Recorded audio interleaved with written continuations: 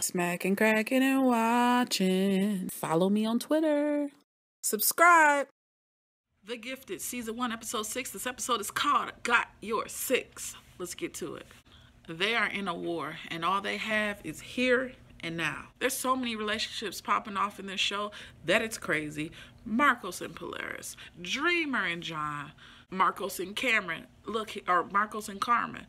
Cartel love? Mm, scary. Yikes. Lauren and Re- Lauren and Wes, puppy love. You know what? The more I watch the show, the more we get drawn into certain characters, like Dreamer. And I'm saying to myself, okay, redheads. Redheads get don't get a lot of love for some reason, but they exist. And I felt like in mid episode, I said, "Whoa, there are so many redhead superheroes out there." I really had to sit down and think about it. Poison Ivy, marriage, and I, when I say this, I'm speaking on women superheroes. I am speaking about the women superheroes out there: Mary Jane Watson, Poison Ivy um, Jean Grey, obviously our homegirl dreamer, Mystique. All of these lovely people exist, and I just wanted to give them a shout out. Shout out, Red. Let's, let's just talk about eyes. Shatter and Blink, the costumes, the designs, who's ever in charge of like hair and makeup and all that aesthetic things on this show, they're doing an outstanding job because my goodness, just the eye work alone.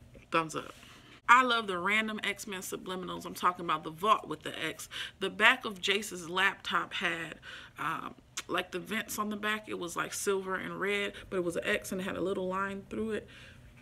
And when I talked about the vault, I'm talking about the vault in the underground layer. Let me know what you think. How do you like it? Are there more little X-Men subliminals they're throwing that I didn't catch? Let me know. Drop a comment below. Let's talk about these characters right quick, man. Thunderbird. I really like his backstory on who he is, man. Okay, he's been treated unfairly. I get it. Most of the mutants have been. By this crazy group of radical mutant haters and anti-mutant folks who are willing to just attack them. They've been in this war slowly for years his background. He was a marine i believe. He was in the service. He had his marine t-shirt on looking nice and at the cost. Just a man trying to serve as a marine raise awareness trying to keep the peace. But people are always anti-mutants. Anger um, anger's there. You know, he crushed his clipboard. He he punched uh, he punched the vault later. He was lifting up those big reinforced blocks like it was nothing. So it's there, and I feel like one day he's gonna go all Andy and just uh, not control it and have an outburst. That would be off the chain. And he's always second guessing things. It's like whatever he does, he feels he never does enough, and they're really showing the emotions on him versus Marcos. Marcos doesn't have those layers. He doesn't have that emotional connection of the protector like Thunderbird. Lauren. You know, Lauren has perfect hair in this whole season, and I was here for it, especially in episode six. Man, got your six. She, hair was hair was popping. She was definitely on her Pantene uh, herbal essence. She was going for the L'Oreal. Please, can I get a sponsorship type deal? Um, serving the food. Insert new character. Wes. And he looks like a pre one day I'm gonna be Thunderbird type of vibe. He's got the baby muscles, not quite where it needs to be.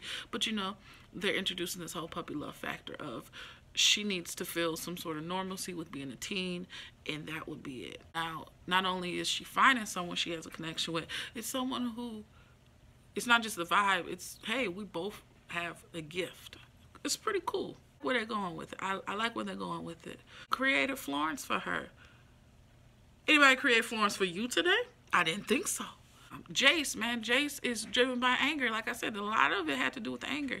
So is Andy. Thunderbird has his issues with trying to control it. Jace is a madman now. So Polaris, Polaris, I love her. Why? Off the chain makeup, off the chain hair, off the chain makeup, eyebrows on fleek. She's on her Professor X. She's on her Professor Xavier tip right now, man. She is leading with a vision and motivating these young ones. And she's looking around like, hey, there's too much talent gifts in here. And they don't even know how to use it. All these backgrounds. Let me mold them. Let me show them how to control it. So young herself, but her vision is off the chain. Back to the story. Let's get to it. Marcos and the Strucker Man in the semi-trailer. What? We're in the trailer? Come on now working hard or hardly working it on family, trying to put the connection back together. They did their thing. Teamwork makes the dream work. They get the files, they get the drives. Poor Reed, though, did you see him glance up and look at that picture of him like, what happened to me? I was just just a regular guy going to work every day with my fam. And now look at me, I'm stealing my own stuff. That's how it is, man, when the Sentinel's after you. Gotta do what you gotta do. Andy had the worst run on TV history. Did you see his flare his did you see his his weird run back like I wanna be part of it, but I can't. He just flare flail legs.